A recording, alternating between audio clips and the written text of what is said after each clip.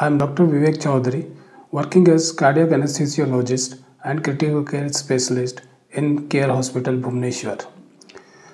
Uh, after completing my postdoctoral certificate course and senior residency in cardiac anesthesia, I joined the Care Hospital at Bhubaneswar in 2009. Since then, the journey is amazing and full of challenges. From the very beginning of the Care Hospital in Bhubaneswar, we are doing large number of cardiac cases, including bypass surgery, open heart surgery, and uh, small kids having congenital anomalies. They have also been repaired. We have done the first awake open heart surgery of the Eastern India in Care Hospital at Bhubaneswar.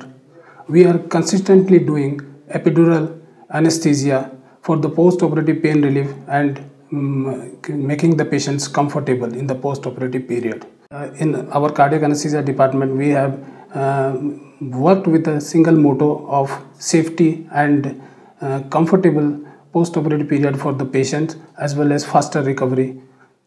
And in due course of time, we have gained experience and trust from the patients and their relatives. Now I think our patients are far more happier than uh, any other hospital's patients. Thank you.